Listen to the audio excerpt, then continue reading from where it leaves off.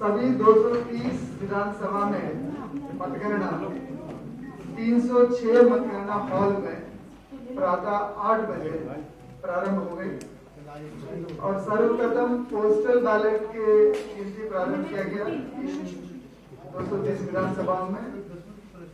और postal ballot में वो भी बैलेट पेपर शामिल है जो सेवा मतदाताओं के द्वारा जो ईटीपीबीएस सिस्टम के माध्यम से जो भेजे गए हैं, उनका भी कंप्यूटर सिस्टम लगाकर जो क्यूआर कोड के स्कैन किया जाकर उनका गणना प्रारंभ की गई थी। इलेक्शन कमीशन का सिस्टम है,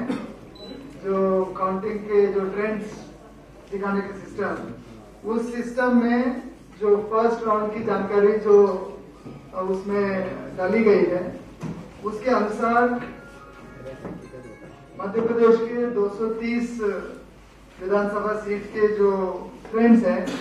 उसमें भारतीय जनता पार्टी 102 सीट पर आगे हैं इंडियन नेशनल कांग्रेस 112 सीट पर आगे हैं और अन्य दल 14 सीटों पर आगे हैं।